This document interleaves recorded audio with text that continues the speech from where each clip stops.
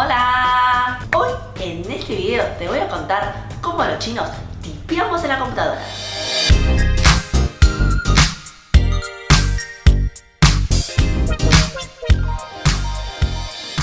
Bienvenidos a esta sección de chino básico. Acá vas a encontrar todas las dudas que tengas y esas duditas tenés sobre el idioma chino que no sabes quién te va a resolver. Bueno, yo te voy a responder. Hoy vamos a hablar sobre cómo los chinos tipeamos en el celular o lo mismo de la misma forma en las computadoras. Para entender eso, yo sé que vas a imaginarte una habitación llena de teclados, pero no, hay métodos y te voy a contar cómo. Primero hay que entender que el chino se maneja de manera distinta que los idiomas latinos. Los idiomas latinos usan alfabeto y los idiomas chinos tenemos el sistema de caracteres. En total hay 40.000 caracteres durante toda la historia de China. Pero afortunadamente usamos solo 5.000, entre 3.000 a 5.000 de esas. 5.000 si son un poquito más nerd, 3.000, bueno, si te fue medio flojito en el colegio, para entender cómo los chinos tipeamos, tenemos que entender la estructura de idioma. Sí, sí, sí, chino básico. Cada carácter tiene un significado específico y combinado con otros tiene otros significados. Se trata mucho de combinaciones. De esos 3.000, esos 5.000 caracteres, vos vas combinando y armas un mundo maravillosos literarios. Vamos a ponerlo en ejemplo para entenderlo mejor. Este carácter significa electricidad, tiene.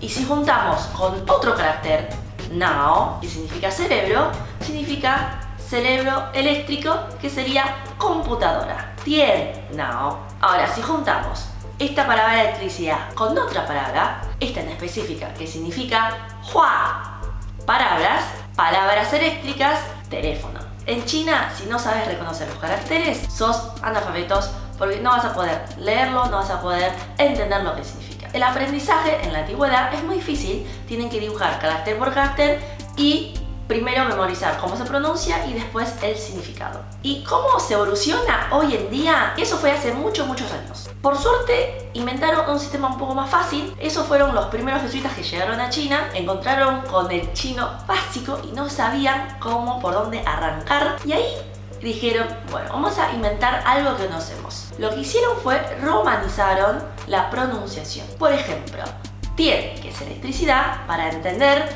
la palabra y para aprenderlos, pusieron una fonética de I-A-N, que lo pronuncia Tien. En base a eso, el próximo jesuitas que vienen, vean la notación de la pronunciación, ya saben que este carácter se pronuncia Tien y significa electricidad. Y así inventaron todo este sistema de pinyin, que es un sistema de fonética chino.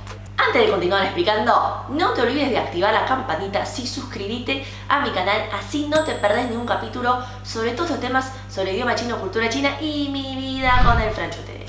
Concretamente, hoy en día se usa el pin en los chicos chicos para que aprendan a pronunciar, aprenda a conocer cada carácter cómo se pronuncia. Es como un bastón para ayudar a caminar. Y una vez que ya te sabes de memoria qué significa cada carácter, no usas más el pinyin. Entonces el sistema de tipeo, nosotros lo que usamos, en vez de tener un teclado de 5000 caracteres, usamos este sistema. Tipeamos la pronunciación de ese carácter, en la computadora va a aparecer una especie de opciones, todos los caracteres que se pronuncian de la misma manera y vos elegís el adecuado.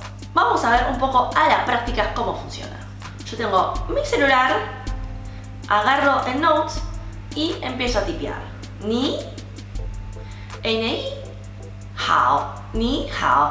Hola, ¿cómo estás? Automáticamente ahora las computadoras son inteligentes, te van detectando las próximas letras y te van encontrando las combinaciones más usadas. Así que se agorran unos pasos. Ni hao, wo jiao Karina.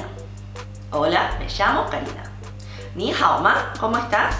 También nosotros tenemos otro sistema que es más para, por ejemplo, mis papás que ellos una generación todavía usaron el sistema más a la antigua, reconocieron los caracteres y no saben muy bien cómo funciona el sistema de pinyin de la fonética. Entonces, ¿cómo hacemos para ingresar los caracteres chinos? Escribiendo. Sí, sí, sí, sí, por suerte hoy en día las computadoras te dejan escribir a mano usando tus deditos como una lapicera, entonces puedes trazar tranquilamente ¿sí? los pinceles de cada letra cada carácter y en base a eso reconoce de qué carácter se trata.